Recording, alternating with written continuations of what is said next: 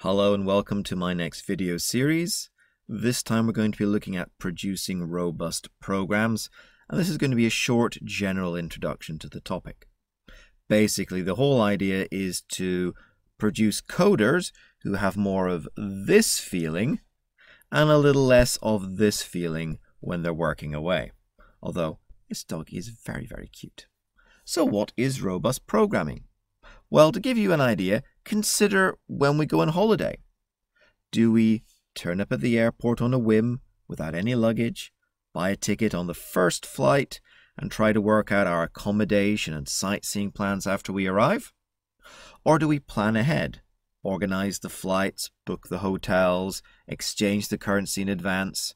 Do we think about the climate and pack our suitcases accordingly? Well, I think most of us will say option B is the one to go for there. Otherwise, our holiday could go horribly, horribly wrong. So, planning ahead does not mean that we will have no problems in our vacation. There's still lots of things that could be unforeseen and could really ruin our fun time. But it does mean we should have a lot less.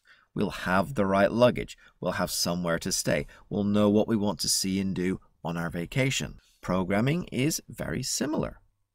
Planning ahead and trying to anticipate all the things that can go wrong will lead to a much simpler and more effective development, and a final product that has fewer problems left to sort out at the end of the process. Again, we want to try and avoid turning into this gentleman here, realizing that his program's awful and he's got a lot of work to do to try and bring it up to a good standard. Robustness is the ability of a computer system to cope with errors during execution and cope with erroneous input.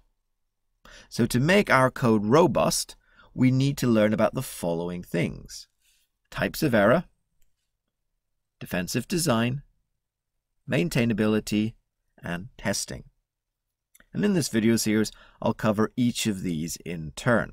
Some of these are fairly large topics, like defensive design and testing, and I might do that as more than one video. So hopefully that is a good general introduction to the topic. I will now go about and design a video on types of error, and I'll see you for that shortly.